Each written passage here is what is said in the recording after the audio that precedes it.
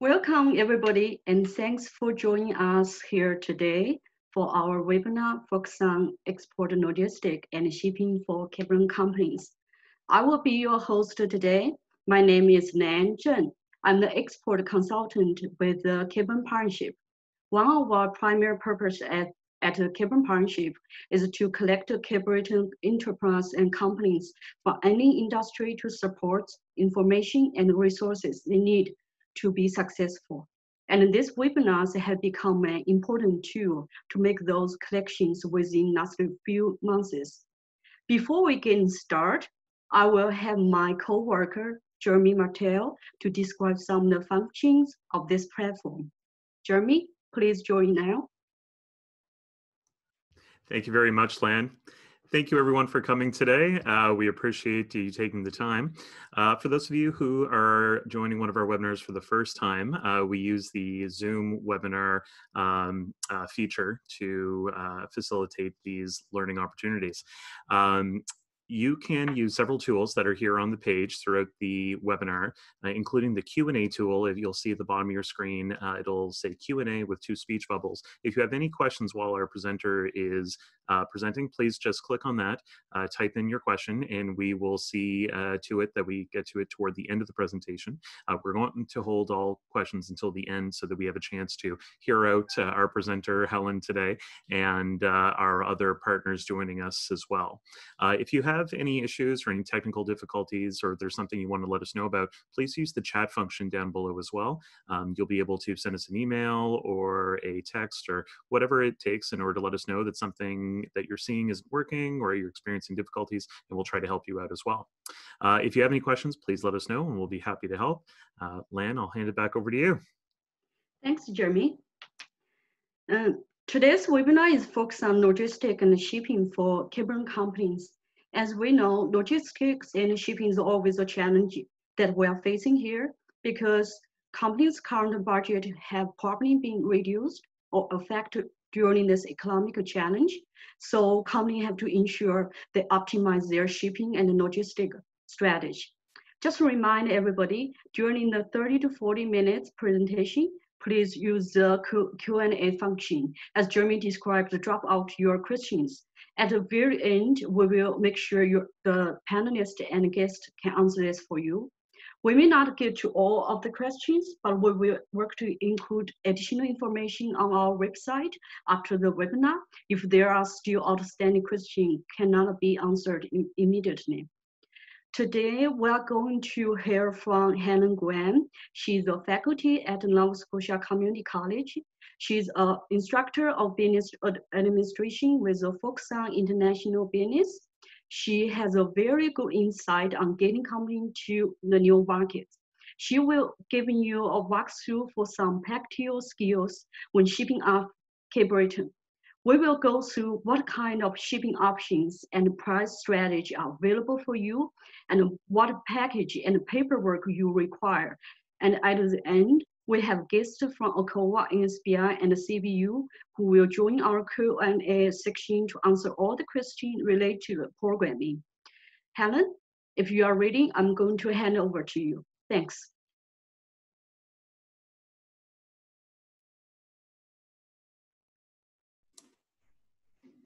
Okay, thank you, Lan. And as Lan said, um, we're going to talk today about um, doing logistics um, from Cape Breton Island and shipping. And I'm just going to get my PowerPoint up here. Um, so back in the uh, the winter, um, I put together a logistics guide, a transportation logistics guide for Cape Breton Island companies that want to ship off ship the goods and services off, off Cape Breton Island. It was mainly for companies wanting to ship internationally, but a lot of what I'm going to talk about can certainly be used for shipping to other provinces in Canada as well. And ironically, sometimes um, there's a lot of issues when you're shipping to other provinces. So we won't really have a chance to talk about that, but one of the things we're going to give you as a takeaway at the end is a copy of the logistics guide. So what I'm going to go through today is just a a preliminary overview of the various topics. So for real good details, we encourage you to, um, to have a look through the guide. and hopefully we can answer your questions, um, questions at the end. Okay, so what I'm going to talk about today, a number of sections here, um, shipping considerations, um, developing your strategy, very important to have a strategy, um, import and export documentation. And that's one of the areas that scares people a lot is the documentation side. Uh, various transportation methods that uh, we use and can use from here from Cape Breton. Um, Incoterms, if you haven't heard that before, I'm going to go into a little more detail on that, but lots of detail in our, our document here. Um, international payment methods. Um, I teach a lot of international courses, and I, the first thing I say to people is the biggest thing a company needs to worry about is getting paid. So I'm not going to get into that too much today, but um, international payment methods, very, very important. Um, your supply chain partners who can help you out with um, with uh, getting into a logistics program and getting your products to your uh, your customers. And at the very end, we'll talk about some international trade resources. And as Lan said, um, we've got some representatives here from some other uh, organizations who will be happy to answer some questions about their programming. Okay, so what are logistics and supply chain? Well, pretty simply, it's it's all about getting your products from A to B, whether that's getting your inputs or your raw materials that you need to produce your product and then actually shipping that product out to the customer. So it's all those different things that are involved in there. You know, your inbound transportation, getting your supplies, outbound transportation, um, getting your finished products to the customers.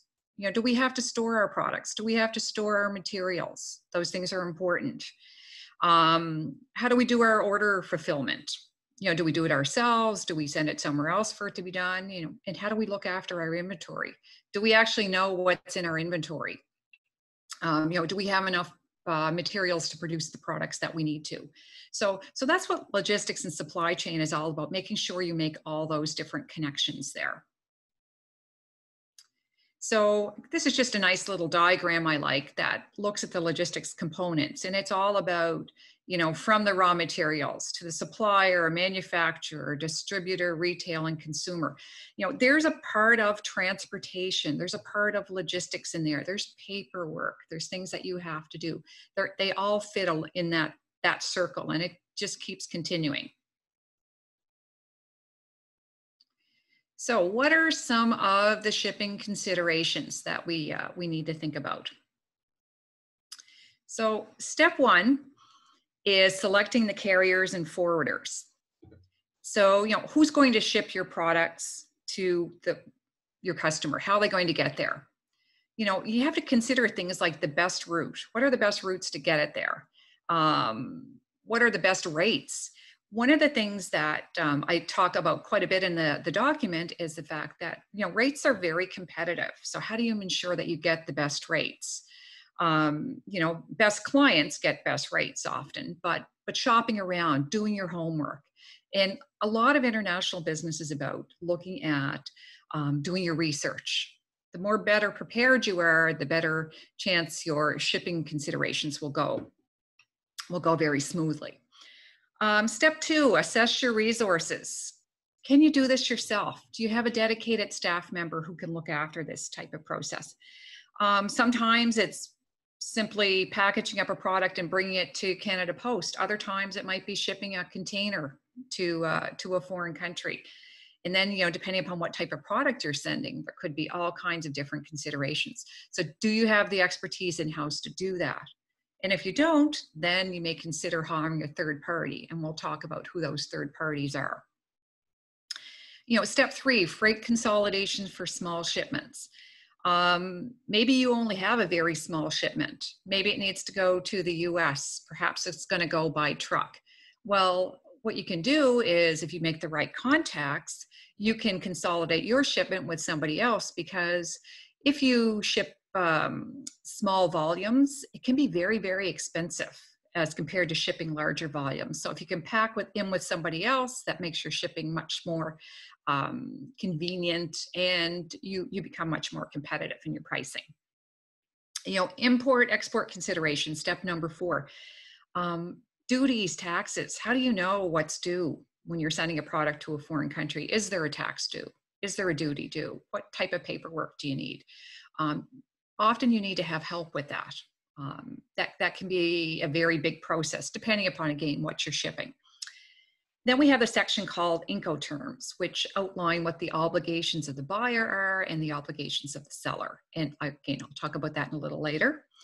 Um, partnerships, who can help you out in this process? And this is specific to shipping. And then planning your shipping itself. And one of the things that Norm uh, Hubbert of CBU, he's going to talk to you about when I finish, is the fact that he's he teaches in the supply chain program at CBU, and he's got students that can help you actually do a plan. And you know how important it is to do a do a proper plan. Planning can save you a lot of money and a lot of headaches. So developing your shipping strategy. You know, what are the different stages that uh, you have to look at in that that format? So I've got a number of steps here we call the export documentation process. So you first look at, uh, you know, buying your, um, your raw materials or getting a purchase order from, uh, from somebody else or somebody decides they want to buy your goods or services. Um, you have to issue a purchase order.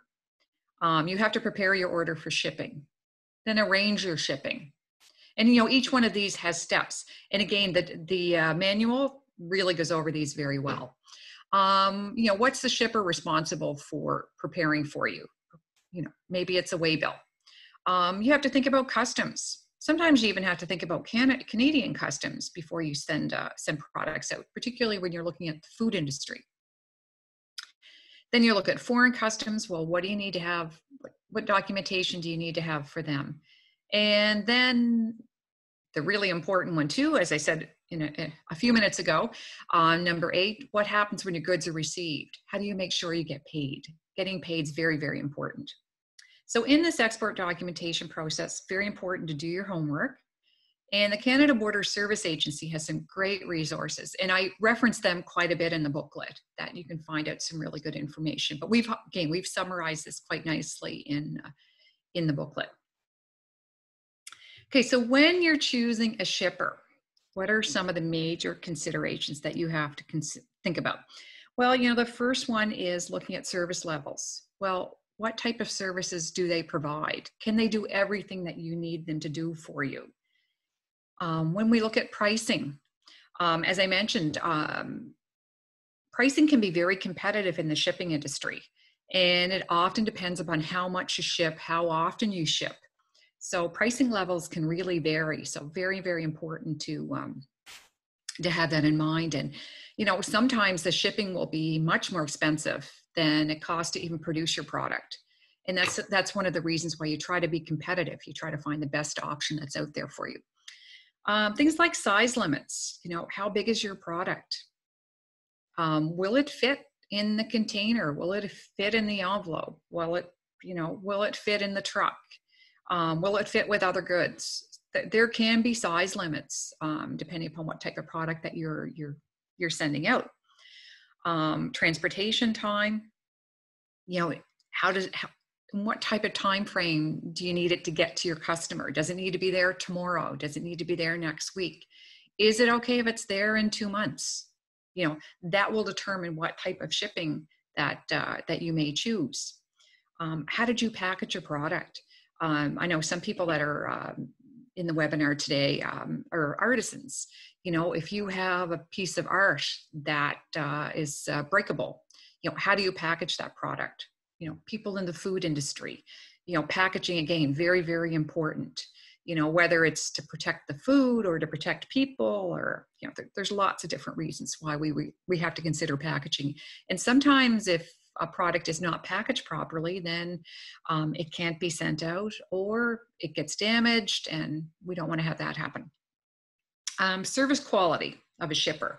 You know, um, do they have a, a, a service qual or quality assurance program? Um, what happens when there's a problem with your uh, with your delivery? Are they going to cover that for you? Always make sure that you know you get somebody who's got lots of consider uh, lots of experience there you know, and then if we look at, um, you know, contract uh, considerations, there's a lot of things that we have to look at in contracts. And that that's one thing you should do. You should make sure you have a contract if you're going to ship your goods out to a foreign foreign uh, uh, company.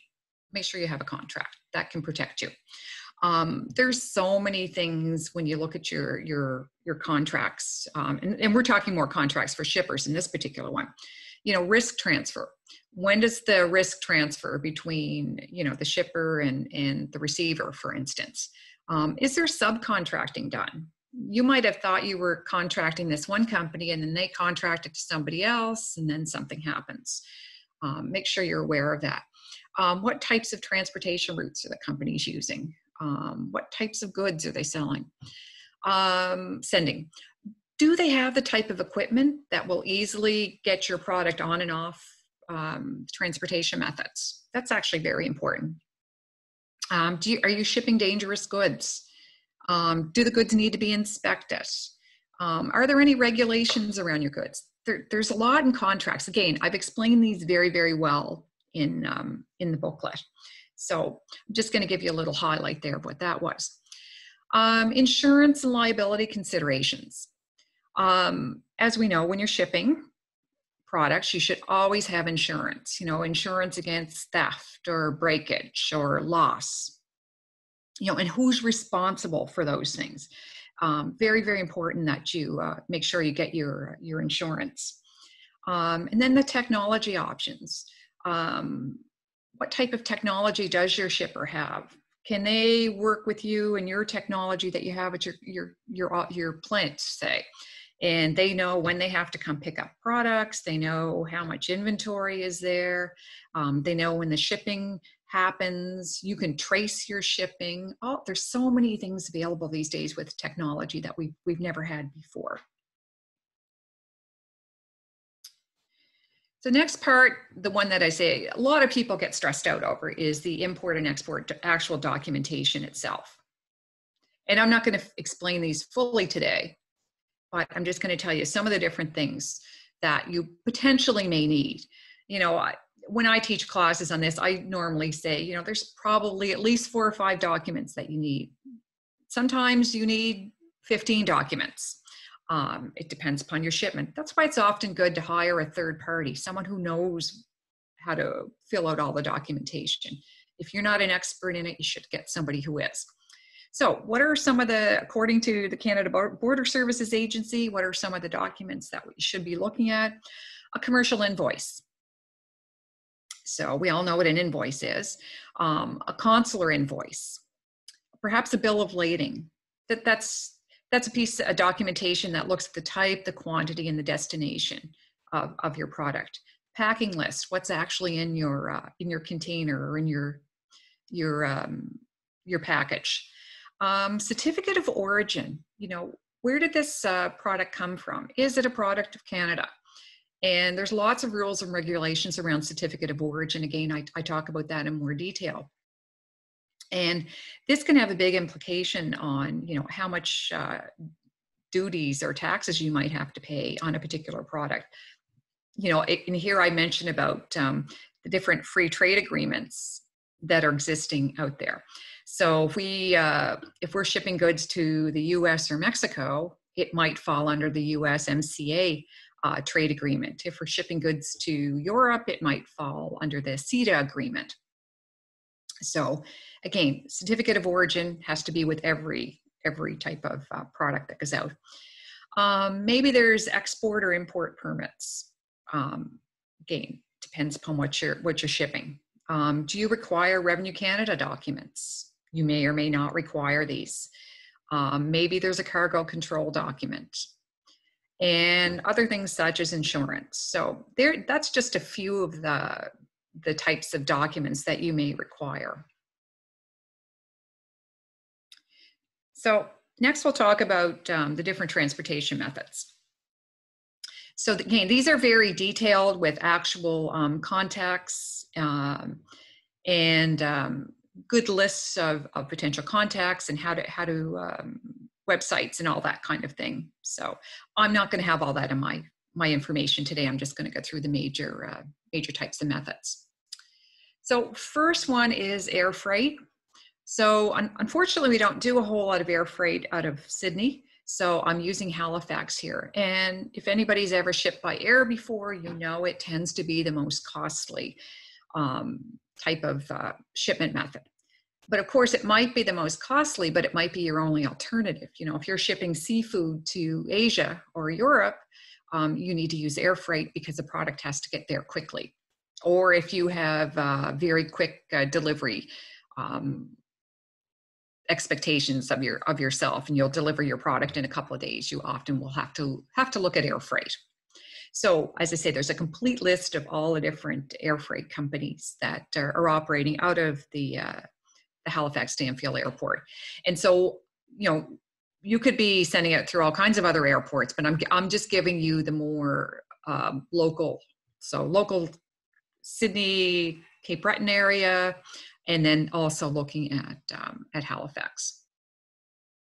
So one of the things I did include under the, uh, the air freight section was freight forwarders and customs brokers. So your freight forwarder is the person who actually moves your product from A to B. So whether that's your, your trucking company or your airline company or your um, ocean freight company, that's the people who physically move your products. And your customs brokers are the people that look after the paperwork, specifically the paperwork related to customs as well, but they do a lot more paperwork than that. And freight forwarders can also be customs brokers. So if you notice here on the list, I have uh, freight forwarders on one side and those that are also customs brokers I've, I've ticked off. And again, just refer to your booklet and you'll, you'll see a lot more information on who's doing what. So you've got lots of choices. And these are the people that we call your third party delivery people. Um, they're on that, this list. So what are the key considerations in air, air transportation? Again, your documentation, the size of your shipping containers. Again, you're limited with, um, with air freight obviously um, you know it's not the same as just putting a container on a ship um, you have to fit certain specifications so again if you look at our, our documentation um, you can go in and look at the various websites and, and see what what people's requirements are what types of products are you actually shipping well that's a really big uh, consideration when you're looking at um, at air freight there um, some of the types of um, products could be anything from perishables to valuables.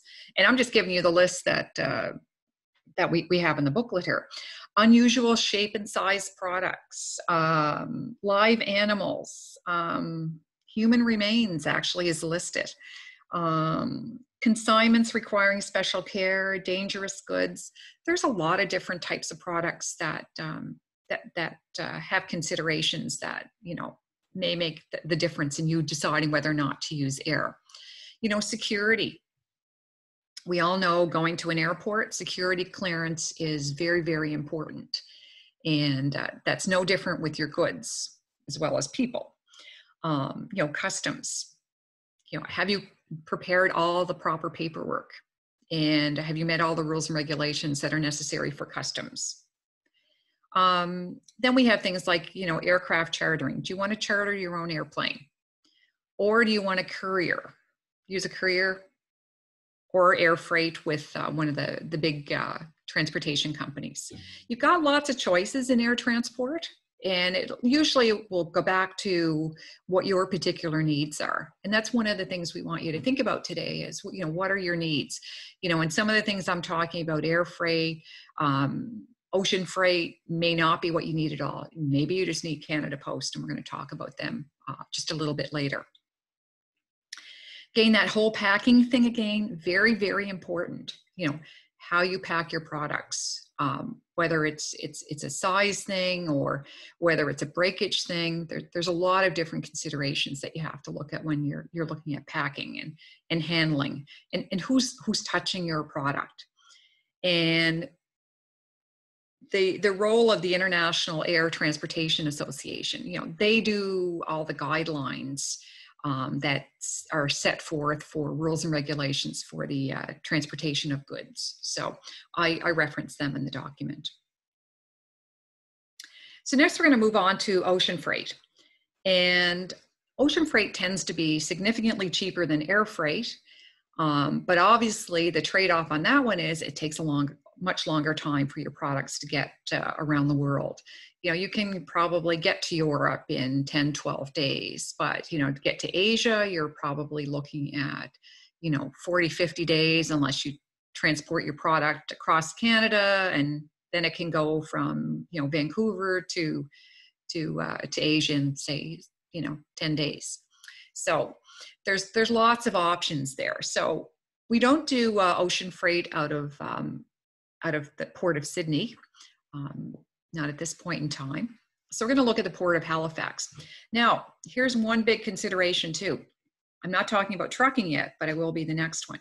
So if you're going to do ocean freight and you have a container yourself or you're getting a container to ship, um, it costs somewhere in the vicinity of 1,600 to $1,800 just to get a container shipped down from Halifax for you to pack it and get it shipped back to Halifax. So even though ocean freight may be fairly inexpensive, um, we're at a little disadvantage in Cape Breton when it comes to comes to uh, the fact what we have to pay for containers. So it's just one one of the considerations that you have to think about. Okay, so the Port of Halifax, as you can see from this list, has quite a number of um, different major lines that, uh, that go through the Port of Halifax. Um, most of these lines work on a weekly basis, although some work um, every 12 to 15 days. So there's a lot more logistics and preparation when you're looking at, at ocean freight, at least in terms of timing. You know, you have to make sure that you've got your timing right in terms of when uh, when products going out because more than likely it's not more than uh, than once a week. And then you have to look at how long does it take to get to your customer as well. So same thing as with uh, air transport you have to think about your documentation. Um, you have to think about your containers. Are they full containers or less than full uh, container loads? And at the very beginning, I talked a little bit about freight consolidation. So maybe you want to ship your products with somebody else. So again, you'll need somebody to set that up for you. It'll cost you a lot less money to ship your products um, with somebody else, um, unless you're taking a full container load yourself. Um, there's a lot of different types of containers out there. Um, if you notice on the right hand side, um, typical container is a 20 foot or a 40 foot container and they can only handle so much product.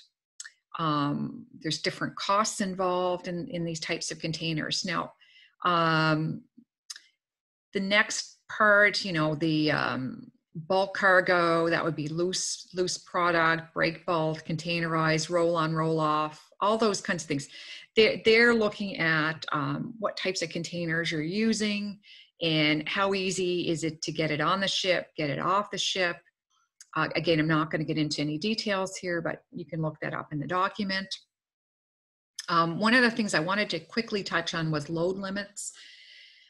Um, if you look at a container, say you're you're shipping daffodils, you're shipping flowers. So if you're shipping flowers, they're a very light product. So you can fill that container right out to the door, right to the top if you're doing flowers. But if you're selling a very heavy product like a piece of machinery or say hardwood floors as an example, you can only fill it to the the uh, the weight limit that uh, that uh, that particular product uh, container has. So that that's an issue. Um, dangerous goods, uh, I've mentioned that a few times. Um, dangerous goods have a whole list of rules and regulations that go around them. So so you have to uh, you have to consider that. So probably the most popular transportation system we certainly see here in, in North America anyway, and across Canada is uh, road transportation. So our trucking companies. So I, I haven't listed um, any trucking companies in this quick presentation, um, but I have in the document, I've listed all the different uh, local transportation companies and considerations. And uh, so there's a really nice little section there on road transportation. But what I want to bring your attention to is, you know, things like the Canada-U.S. border. Um, there's a lot of um, a lot of rules and regulations when you're shipping goods across the border. And again, we've got the free trade agreement with the US, which helps us with a lot of things. But, but anyway, we have to uh, make sure that we, we totally understand the Canada US border issues that, that could happen for us. And, you know, your goods could be refused uh, entry into the US, for instance, you know. Um, your driver, you know, does your driver have a, a, a Nexus card? You know, is it the first time they're going through like there, there's a lot of different um, considerations that you have to think about when you're when you're going across uh, international borders and you know which border crossing do you pick and if you know yourself if you go into the us you know some border crossings ask you a whole lot less questions than other ones do um, so it, it's it's picking the, the the right one usually from um, nova scotia here we usually pick uh, calais or um, or Houlton tend to be the two border crossings that uh, that we look at. Again, your documentation. You know, what type of documentation do you need? Um, what's the size of the truck that's um, that's shipping your documents out? And even though there's pretty standard truck sizes, there can be some variations in in the sizing. So something you need to know. Um, you know, does the container need to be plugged in? Is it refrigerated or is it not refrigerated? you know, again, it depends upon what kind of product you're trying to sell. Do you have then uh, less than a truckload or a full truckload? Again, that consolidation service, again, very, very important. Um, a lot of products get consolidated, for instance, in, uh, in Moncton, because that tends to be a very central location. And of course, we have border security issues. You know, um, do we have to have certain types of certifications in order to get across the border? Do our trucking companies have to have certifications to get across the border? Those are important things for us to know. But I put here the note on the bottom. No matter what transportation method you use, trucking will likely be part of your logistics process.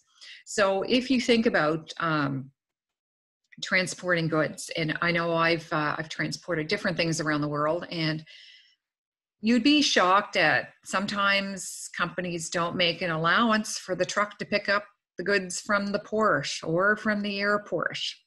Um, you know, how did it get there to begin with? Probably by truck transportation. So most types of products, when they're shipped out, have a couple of different methods of transportation that uh, that are used. So then we have mail and Canada Post. Okay, most popular and cheapest for smaller companies. So some of the key considerations that you have to think about here are, you know, restricted items. There's lots of lists of restricted items, things you're not allowed to um, to send through the, the postal service. Um, looking at your costs. Again, uh, even um, shipping through Canada Post can be expensive from time to time if you've ever sent something that's really heavy you know maybe you need to look at another alternative there um, they charge fuel surcharges just like a lot of other companies. Although that's not an issue at the moment but if the cost of fuel goes up that could be an issue. Um, they are they're still subject to the same documentation that um, a lot of other types of transportation methods are. Um, maybe there's different export uh, permits that are required. And again, I've got a really good section in the, the booklet on Canada Post because it is very popular for a lot of small companies um, like to use that type of method. And you know, on the bottom here, this is a really important thing that I, I know a lot of really small companies like to send products as, and I'll use the quotations, gifts. That is actually not legal in most countries. So you shouldn't be doing that. And one of the things about logistics is that you can actually um, get barred from sending your products to foreign countries. So you need to be careful with that particular one. Then we have courier services. So we have pretty good service. It's going to really improve with FedEx. Um, FedEx and UPS offer some great courier services um, here in, in Cape Breton. And they typically use air and truck transport as well, they're subject to the same paperwork and documents and customs as, as everybody else is. Um, but again, they can help you. They can simplify the process for you. And, you know, they can do very fast delivery or you, you know, if you're doing ground transport, um, that that can take a lot longer. But but you've got a lot of alternatives here, and that's what we're trying to tell you with uh, with this booklet. You know, depending upon you know what kind of product that you're you're trying to sell. Okay, so next section is on Incoterms, and I know I'm get, using my time up here, so I'm going to be a little faster. So Incoterms 2020. So what Incoterms are is they set out the obligations of your buyers and your sellers. So if I'll just give you a quick example here. So if you look at the top of the chart, it says Ex Works. And if you notice down the bottom, Ex Works the orange is the buyer's obligation. So if you choose an Incoterm, so that says exactly what the buyer is responsible for and exactly what the seller is responsible for. So in this particular one, basically the buyer picks up the product at the seller's plant and is responsible for all, all the, um, the transportation related costs. If you look at the bottom DDP, and that's one where you're perhaps selling a product that is um, um, breakable. I'll just use it as an example. And you want to make sure that it gets to your customer um, in the, the state it's supposed to be in. So you maybe want to control all the different transportation aspects. So if you want to do that and control everything and have that be your obligation, it's going to be DDP. Um, so there, there's your two extremes, and I explain every term very well in the booklet. Um, one common one that a lot of people use is CIF, which is in the middle here, and that's your cost of insurance and freight. So important to have your, your Incoterm on your documents. And section F, we're getting to the end here, international methods of payment. So there's, there's typically four different payment types. So there's payment in advance. Think about uh, when you buy anything online, you don't, it doesn't get shipped until you pay for it in advance, often using, well, most times using a credit card. So when you're shipping um, a lot of products, payment in advance would be lovely to have, but that's not normally the uh, the way that many companies deal with uh, with payments. They often deal with what's called open account, and that means you get paid under your contract agreement in say 30 days, 60 days, 90 days, whatever it is. It's probably the most popular payment method. But what it does is means you have to have a lot of faith that your buyer is actually going to pay you. And I'll talk about that in another minute. Then you have what's called documentary collections. So you get paid at certain points. So maybe your buyer pays you 25% when your product is produced, pays you 25% when it's shipped, 25% when it's received, and 25% 30 days later. You know, it, it depends upon whatever's in your documents. And then a, a popular form, although it's sometimes getting less popular, is a letter of credit, which outlines conditional payments, and it's organized through your bank. And your bank, and the buyer's bank, and you and your buyer. You're all in a little square there, and everybody has the responsibility within letter of credit. You know, they can cost you a few dollars to get your letter of credit, but but again, it's it's quite a secure method of um, of payment, ensuring payment. And then, of course, to ensure payment, um, I always like to bring up EDC, Export Development Canada.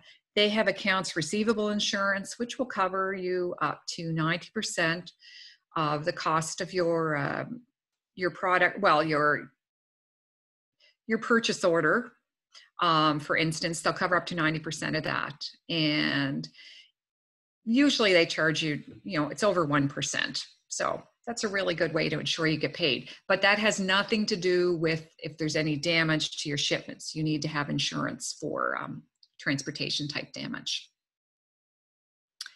and almost lastly here, your supply chain partners. So who are your supply chain partners or what I like to call the third party logistics uh, people? Um, could be your freight forwarders, those people who transport your goods, your customs brokers, people who look after your paperwork, you know, the different types of carriers involved in that process. And maybe your banking and financial services you know particularly if you're doing large transactions it, it's often good to you know be working with your banks to make sure that you have the money available um, and that you're going to be able to uh, to pay your obligations there. So there's some of your supply chain partners. Again, more detail in the uh, in the booklet. And lastly, section H um, in your booklet, which is our international trade resources. So um, in the, the end of the booklet, there's a list of a number of different organizations or resources, um, locally and regional contacts that can help you out with more so with exporting as opposed to just shipping itself. Because what we're trying to do by doing these types of webinars is to get more people interested in doing international business and, and trying to help you, you know, um, understand the different pain points that happen from time to time. And shipping can be one of those pain points. But um, at the end of the document, we've got lots of resources there of uh, different organizations that can help you depending upon what sector you're in. So I'm finished with, uh, with my section, just giving you a big overview of kind of uh, what's, what's available out there in shipping. And I'm going to hand it over to Norm from CBU. And Norm's going to tell you a little bit about his program in the supply chain program and what it can do potentially do for you. And then we'll have some other representatives. Thank you.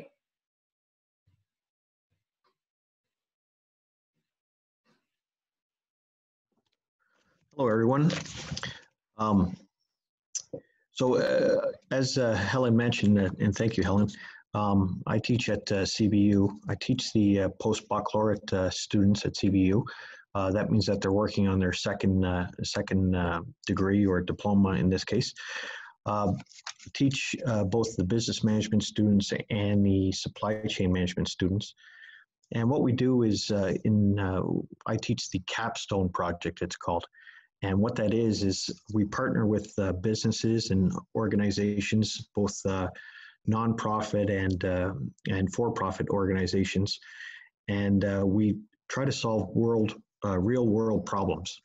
And so the uh, the students as a team uh, work with them, and uh, they have access to uh, the professors at uh, CBU and some other experts in the field, and uh, and we do address those real problems. So in discussion with with Helen and Land and and some of the others. We saw this as a real potential for for businesses in Cape Breton to utilize some of those resources and be able to export more or be able to uh, create a plan for export or uh, uh, look at things like uh, how do we market overseas? And uh, my uh, my students would take those real life problems and try to solve those um, for the organization so it's a way of utilizing some free labor in, in a way but it's a way to solve a real problem and give the students a great opportunity to learn. So if, if there's any questions about that, I am available. Um, my contact information will be put up by, uh, um, by uh, Jeremy at the end there. Thank you.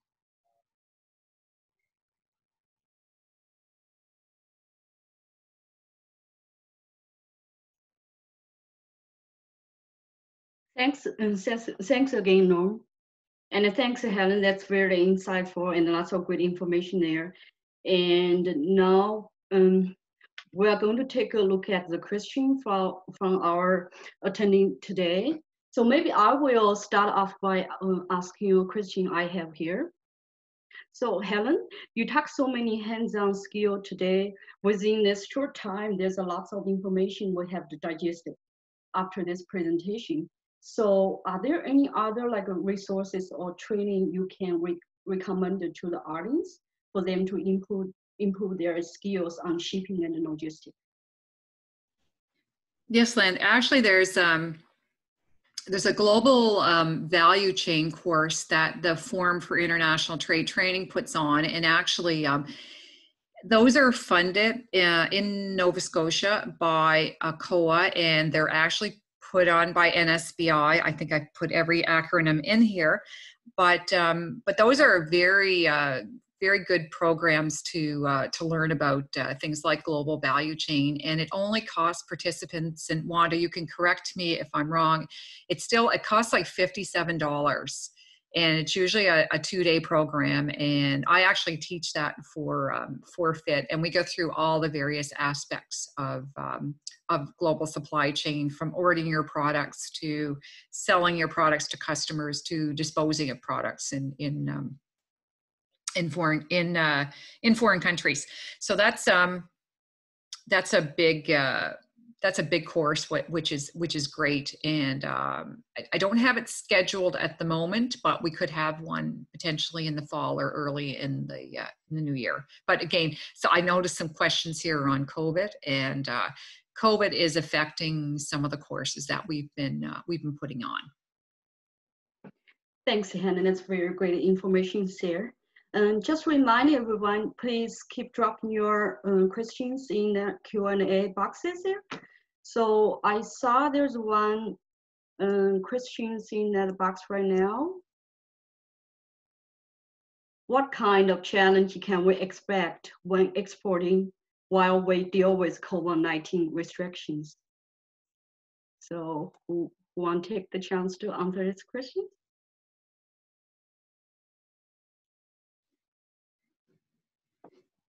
Do you, do you want me to uh, take a shot at that, uh, Helen, first? Yeah, I, I think you're the better one for that one, uh, Norm. Well, I'll, I'll just give you the, the perspective of, of what, uh, what we're seeing right now. Um, we're seeing actually that uh, uh, a lot of logistics organizations are actually becoming stronger through COVID. Um, so you look at uh, things like uh, FedEx, um, uh, UPS, and uh, uh, some of the other courier companies uh, they're becoming a lot a lot more efficient, and part of that is because of the increase in volume. So as the volume increases, their their transportation lanes and their courier system um, gets a critical mass, so that they can um, uh, deliver things a lot more quickly. So it's it's actually a positive from that aspect. from the aspect of um, getting resources that you can meet with one-on-one or in person obviously that's been a challenge as all of uh, uh, social distancing and, and things like that so uh, it's been difficult for uh, people trying to get into the uh, covid industry uh, into transportation so so some some of the former students who are trying to find jobs it's harder right now because because of those restrictions but um, it's transitioned a lot of things from uh, um, to a lot more home delivery, and uh, that's been a, a, real positive for overall for the uh, um, for the logistics field and and also for uh, for rates in the future. Thanks, Norman. May I add to that, Nan? I would just like to add to it with respect to the international context and, and what that could mean based on what country you're going into. And I'll just give an example uh, of that with respect to Japan and, and how COVID has affected Japan with respect to the trust. And in particular, when it comes to e-commerce and home delivery and, and um, you know, the changes that have taken place there, in, in that market, they usually had to be home to be able to accept and get someone to sign for the package. And that's changing now. So now uh, they're implementing drop boxes where people can go in and pick up their product after hours or they're also um, also looking at methods of, of, rescheduling shipments for when the individual is actually going to be home. So there's new technologies that are coming out now that uh, a, person who orders something can go online and make changes to when their shipping their shipment arrives at their destination. The other thing that COVID has done on the positive side is it's made it very favorable for us from Canada in the perspective of the fact that it takes a, a while to get a product to Japan and a, a, a Japanese person won't accept the product shipped from Canada if it arrives the next day because of the potential of getting COVID from that. So there's a whole bunch of things that you have to take into consideration. And, and a lot of will come down to what market you're going into. And the other thing I'd like to add is, of course, because of COVID and the shutdown of many airlines into many countries, that has increased the cost dramatically for companies um, but we're hoping that will return to normal when we get things back to normal. So while th- some things have increased in cost, some things have been made more efficient, as Norman mentioned. So uh, again, it depends on where you're going and what you're doing in the world. Thanks, Adarni.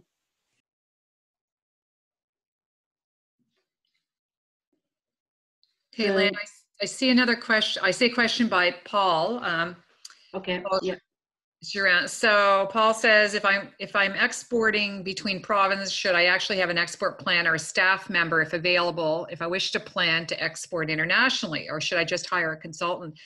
I mean, that really depends and, and, and actually Paul's one of our service providers too, I, I should mention. Uh, great resource to help you out with all the, uh, the resources that are available out there in exporting.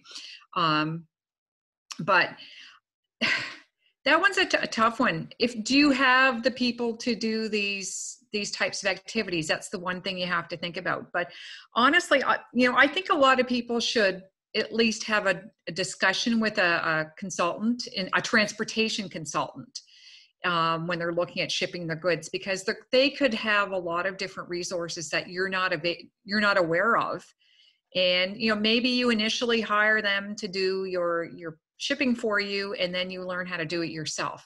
There's a couple of different options that are available there. So it's all in how comfortable you are with this but um you know there a lot of us out there have some great education programs for people um, so you don't always have to hire a third party but sometimes it's better to hire a third party. It just depends upon your your comfortability with uh, with these things. Thanks, Helen.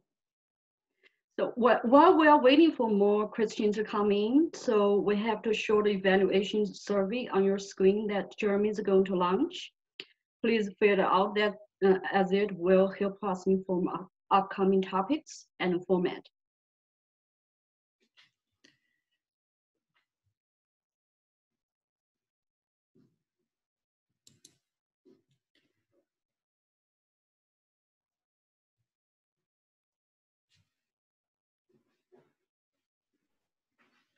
Okay, great. So there's another question for Wanda. Can you tell us about some the Europe market development program?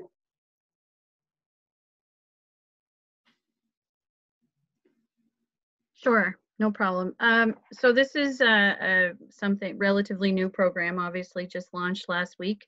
Um, with regards to getting uh, some uh, in-market uh, support and advice, guidance uh, for companies wishing to look at Europe as as either a, a new opportunity for them or for um, expanding their presence there. And so basically, it allows the company to make an application through NSBI. Um, and we work with you on that process. And then at that point, if it's approved, um, there is a, a monetary cost to it on the client's behalf uh, as well, around uh, $4,750. Um, but what that provides the client with is um, is an in-market consultant uh, and someone working on their behalf on their market of choice and and obviously you know someone with uh, expertise not only with market intelligence but with what their product or service that they're offering but certainly if there's someone has specific questions about it and would like to chat uh, they can reach out to me directly and we can go through that with them Thanks, Wanda. So, so we've actually had a few uh, people reach out and ask if um, they would be able to get a copy of this presentation. Uh, you absolutely will. So in the next few days, you will receive a copy of this presentation as well as the guide um, that Helen has uh, referenced. So rest assured, uh, we don't expect you to remember this all by memory.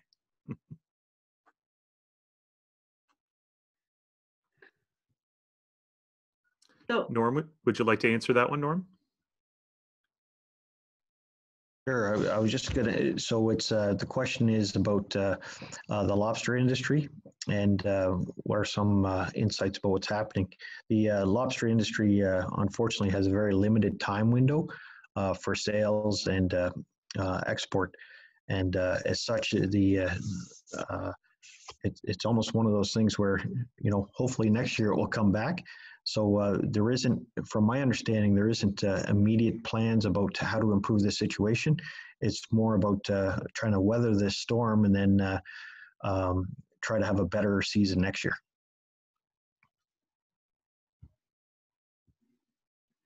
Thanks, Norman. There's another one here. What are the tax concerns when shipping products international? How do I make sure to collect and report the, the right things?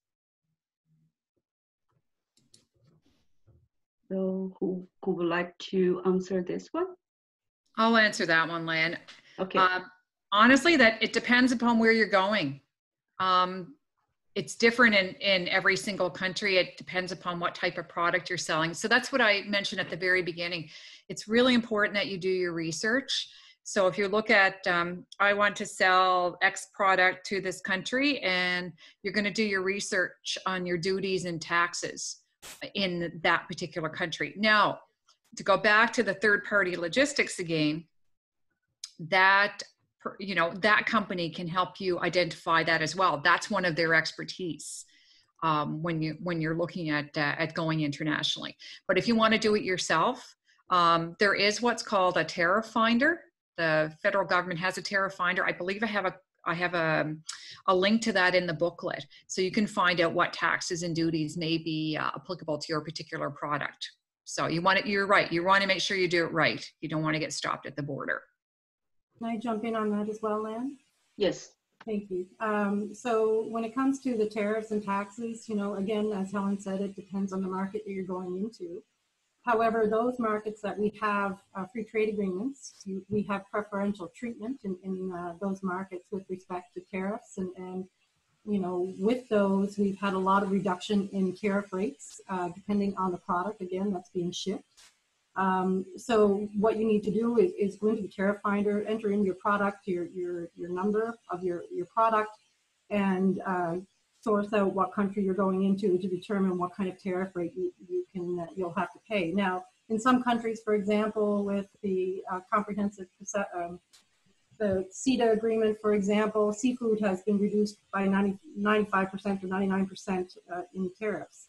So again, it's going to depend as well if you're manufacturing uh, uh, something into a market that you're sending into a market that has inputs from another market, that will determine what your tax rate will be as, well. So for an example for that, and I'm just going to pull it out of the air, is say for example, going down to the United States, that your product would have to have 50% either US or Canadian inputs. If it has more than 50% uh, inputs from China, for example, you're not going to get the preferential treatment under the, and again, I'm just using those percentages as, as an example, not as the real percentages, but it depends on what market you're going into will determine. With respect to the Netherlands, you should be aware that the uh, Netherlands has a, a, deferral on taxes um, should you ship into them. Uh, so that's something that you can look into that uh, for the Netherlands. And, and as the Netherlands is, is key to the Benelux areas and the shipment throughout Europe, that might be a choice for you to do uh, so that you don't have to pay taxes until after your product is actually uh, sold to the final customer. thanks, Darnie. So we have a question uh, that's come into the chat, um, and it uh, brings us back to uh, the current uh, uh, situation going on uh, with COVID 19. Um, so the question here is Could you speak to some of the challenges posed by um, uh, certain restrictions that are present under COVID 19, for instance, uh, minimums on PPE shipments out of China, and uh, recently last week in seafood, or also to other recent outbreaks uh, in uh, other countries, such as um, in China, and the effects that that's had on, on products. Um, and then there's follow up of what would your advice be to people with supply chain or buyers in China? It's a Very specific. Very good question. I'm sure not Yeah. the only person who's wondered. Um, so I'll, I'll try to take that one a little bit. Um, uh, every country has the right to limit the amount of uh, product that's shipped in or out of the, the country. So with COVID, we've seen things uh, become more protectionist with respect to countries. Um, that will open up again. But what I would do is suggest that if you're specifically looking at China, is reach out to the trade commissioner that's relevant in that region. Um, so there's a number of trade commissioners throughout uh, China in trade in either the embassy or the consulates around around China, depending on what region you're going into, and look for the uh, trade commissioner in your sector.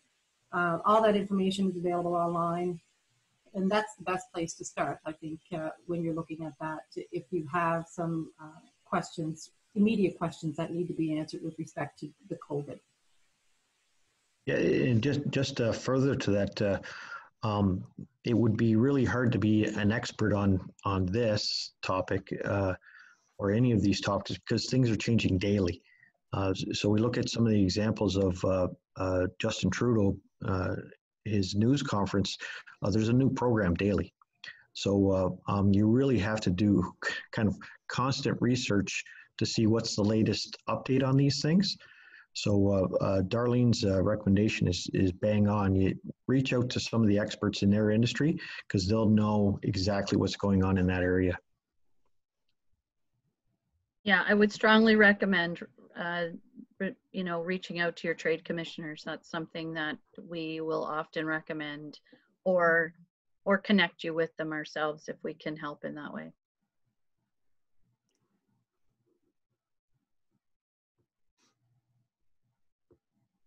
There's another question there in what what is the next big things in supply chain?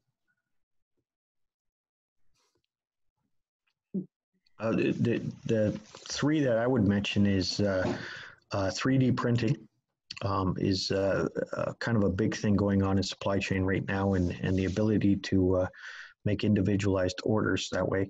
Um, artificial intelligence, of course, is uh, uh, really improving uh, uh lane deliveries and and uh, uh, what's going on that way. And then, of course, just the the transition to more internet buying um, versus retail stores, and um, that's greatly impacted as well our supply chain, of course, and and um, also consumer behavior, right? Yes. I'd also like to add that traceability is a big one. Uh, so being able to track your product right to back to the source from right, if we take seafood for example, right from the ocean to the plate.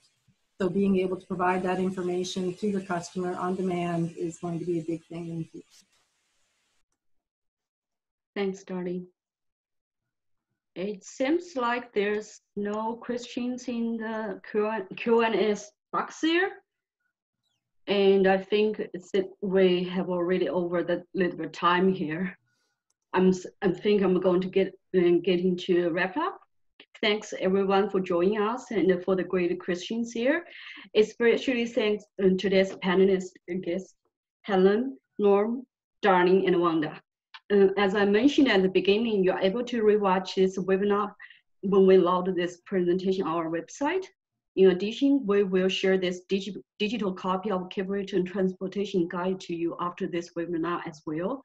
Please watch your email. Um, for future sessions are currently being developed and planned for later this month. So please continue to watch our, uh, the details on our website and uh, social media. Jeremy, is there any other additional comments on technique side there? No, not at all. I, I, think everything went quite well. The screen only went dark for one person, so I call that a win today. Thank you very much, everyone. Appreciate everyone coming out, and I especially appreciate everyone with the great answers and presentation. No, thank you very much. Thanks, Thanks everyone for joining. Okay, bye-bye. Have a great day.